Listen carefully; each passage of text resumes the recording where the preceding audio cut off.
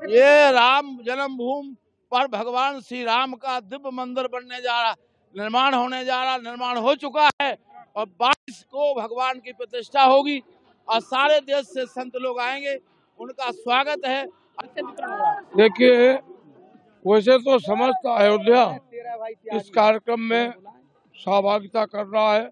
अयोध्या का बच्चा बच्चा इस कार्यक्रम में सहभागी है, लेकिन आश्रम के कार्यक्रम या राम जन्मभूमि कार्यक्रम की दृष्टि से हम लोग जगह जगह सब लोगों को इस कार्यक्रम की सूचना, अक्षत वितरण, पत्रक वितरण और कार्यक्रम की सूचना दे रहे हैं, जिससे कार्यक्रम में सबकी सहभागिता हो सके। अक्षत वितरण कार्यक्रम शुरू हुआ, कुशवाहा मंदिर पर समापन होगा।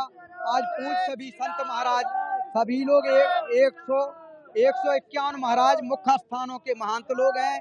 और सभी संत महान इस कार्यक्रम में बढ़ चढ़ के सब सब जो है हमारे जो है मेयर साहब भी आ गए हैं। ये बड़ा दिव्य कार्यक्रम से अक्षत पूजन जगह जगह सब लोगों को सब लोगों को अक्षत दिया जा रहा है। जय श्री राम।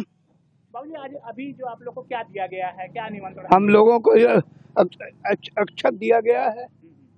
और जो है भगवान के प्राथमिकता में हम लोग वहाँ जाएँगे। ये किसकी तरफ़ से दिया गया है आप लोग विश्व हिंदू परिषद की तरफ़ से दिया। साधु संत भी इसमें शामिल हैं? काफ़ी।